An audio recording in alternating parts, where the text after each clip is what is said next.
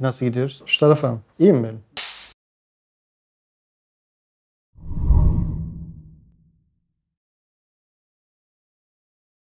Ebu Hanife Numan bin Sabit el-Kufi, Hanefi mezhebinin imamı, İslam hukuk düşüncesinin kurucu şahsiyetlerinden ve ehli sünnet kelamının öncü isimlerindendir. İmam-ı Azam diye anılır.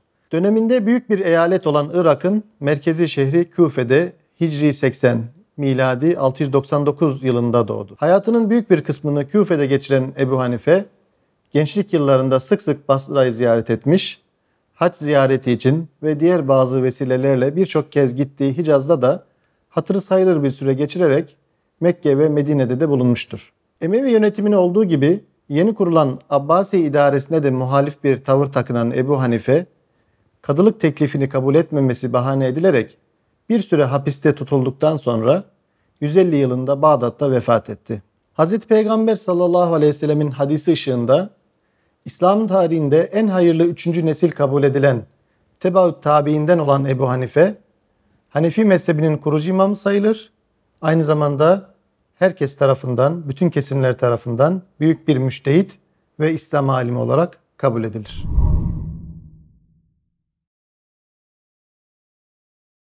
Hicri 80 ila 150, miladi 699 ila 767 yılları arasında yaşayan Ebu Hanife, İslami ilimlerin henüz birbirlerinden kesin hatlarla ayrışmadığı ve müstakil disiplinlere dönüşmediği bir dönemde oldukça üst düzey ve kapsamlı ilmi çalışmalarda bulundu.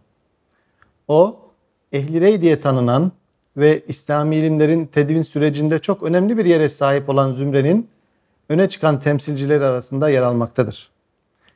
Yaşadığı dönemde Ehli Rey denildiğinde akla ilk onun ismi geliyordu.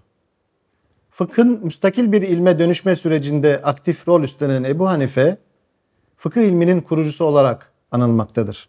Ehli sünnet akidesinin şekillenmesine ve belirgin ifadelere kavuşmasına zemin hazırlayan çalışmalar yapan ve bu doğrultuda akide metinleri de kaleme alan Ebu Hanife, aynı zamanda kelam ilminde de çok önemli bir yere sahiptir.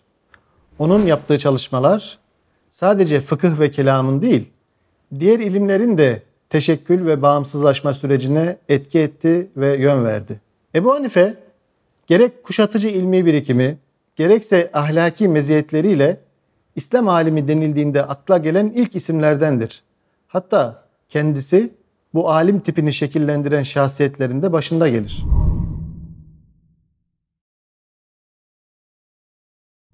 Ebu Hanife fıkıh ilminin kurucusu olarak kabul edilmekle birlikte günümüze intikal eden eserleri daha ziyade kelam ve akaidle ilgilidir. Bunlardan en meşhuru olan El Fıkhül Ekber, ehli sünnetin İslam inanç esaslarına yani akaid esaslarına dair görüşleri özet bir aktarımla ele alan nispeten kısa bir metindir.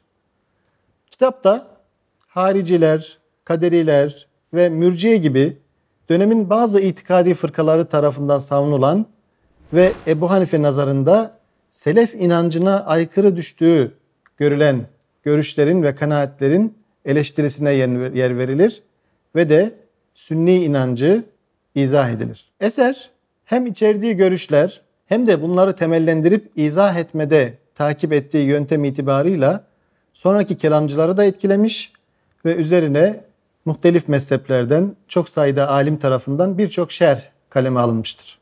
Bu risalenin muhtevasını oluşturan başlıca meseleler şöyle. Fıkhın yani Ebu Hanife'nin adlandırmasıyla usulü dinin tanımı, imanın mahiyeti, Allah'ın birliği ve sıfatları, kader, emri bil maruf ve nehyanil mülkerin nasıl yapılacağı, büyük günah işlemenin hükmü ve tekfir meselesi, fetret ehli, kabir azabı, cennet ve cehennemin ebediyeti ile ashabın faziletçe sıralanış. Ebu Hanife'nin bir diğer metni El Alim vel Müteallim başlığını taşır. Yine ehli sünnetin görüşlerini açıklayıp savunma amacıyla yazdığı bir metindir. Risale hacminde kısa bir eser olan El Alim vel Müteallim soru cevap tarzında ilerler. Ebu Hanife'nin çağdaşlarından Basra kadısı Osman el-Betti'ye hitaben yazdığı ve bir mektup olması hasebiyle Er Risale diye anılan bir metni daha vardır. Bu mektupta Ebu Hanife akaide ilişkin konularda kendisine yöneltilen bazı itham ve iddialara cevap verir. Ebu Hanife'nin akaid konularını kısaca alan bir diğer risalesi de El Vasiye adını taşır. El Müsned. Yine Ebu Hanife'nin içtihatlarında delil olarak kullandığı hadislerin sonraki alimler ve takipçileri tarafından bir araya getirilmesiyle oluşan ve derleyicilerinin adlarıyla anılan bir metni daha bulunmaktadır. Aslında birçok müsnedi Ebu Hanife bulunur ve bunlar da Ebu Hanife'nin içtihatlarında dayandığı rivayetler derlenir.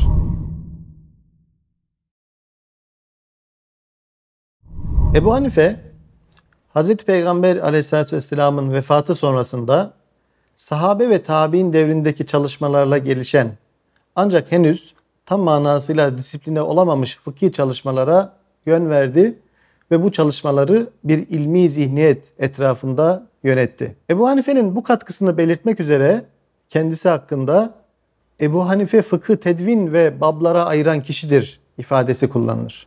Ebu Hanife fıkhı şu şekilde tanımlar. Kişinin lehinde ve aleyhinde olan şeyleri bilmesi. Bu tanımda yer alan leh ve aleyh kelimeleri sonraki alimler tarafından haklar ve sorumluluklar, dünyada ve ahirette kişinin lehine ve aleyhine olan durumların bilgisi diye de açıklanmıştır. Bu tarif bugün anladığımız şekliyle sadece dar anlamda furu fıkı değil, kelam, ahlak ve tasavvufu da içine alacak şekilde yapılmış genel bir din bilgisi tanımı olarak da görülebilir. Ebu Hanife'nin inançtan amel ve ahlaka kadar dinin bütün alanlarını kuşatan bir tarif yapması onun kapsayıcı bir ilim tasavvuruna sahip olduğunu da gösteriyor. Ebu Hanife fıkıh ilmini tedvin ederken belirli bir takım ilke ve kurallar geliştirdi. Farklı seviyelerde ve muhtelif kapsamlarda geliştirdiği bu kurallar ilk Hanefi kitaplarında kıyas olarak da anıldı.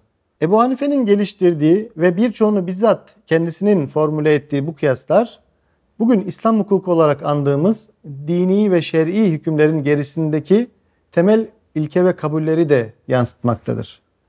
Aynı zamanda furu fıkıh ameliyesine yön veren, müştehitlere içtihadi kabiliyet ve meleke kazandıran bir muhtevaya da sahiptir. Ebu Hanife'nin El Fıkhul Ekber diye ifade ettiği akaid ve kelam sahasındaki görüş ve yaklaşımları ehli sünnet anlayışının belirgin ifadelere kavuşmasına da zemin hazırladı. Dönemin önde gelen fırkaları karşısında İslam ümmetinin geneli tarafından benimsenmiş inanç esaslarını savunan Ebu Hanife'nin bu yaklaşımları ehli hadisin aşırı kanadında yer alan bazı kesimler bir kenara bırakılacak olursa ilerleyen süreçlerde ümmetin genel manada kabulünü de kazanmıştır. Erken dönem ehli çevrelerinde Mutezile'ye ve diğer fırkalara mensup şahsiyetlerin de yer almakta oluşu, Ebu Hanife ve öğrencileri hakkında bazı ithamlara sebep olduysa da zamanla bunlar unutulmuş ve Ebu Hanife ehli sünnetin ilk ve de en büyük imamları arasında kabul edilmiştir.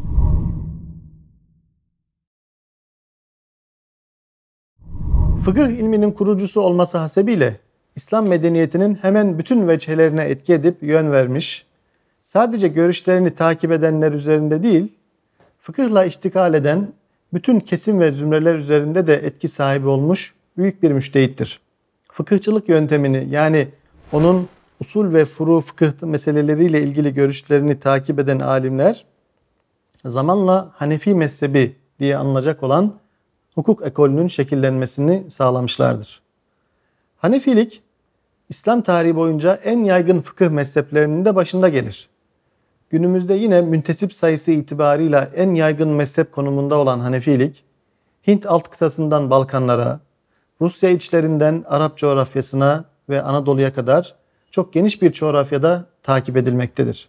Kelamla ilgili eserleri sayesinde Sünni akidesinin belirgin ifadelere kavuşmasını sağlamış ve muhtelif fırkaların, grupların etkin olduğu, çok yoğun tartışmaların yaşandığı Hicri 2. asırda ehli sünnet kelamının da netleşmesine hizmet etmiştir.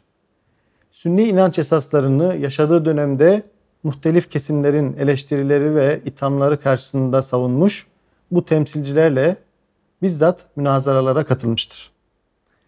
Görüşleri birçok itikadi akımı etkilemekle birlikte Özellikle ehli sünnetin iki büyük kelami kolundan biri olan Maturidiliğin temel görüş ve yaklaşımları da Ebu Hanife'ye dayanmaktadır.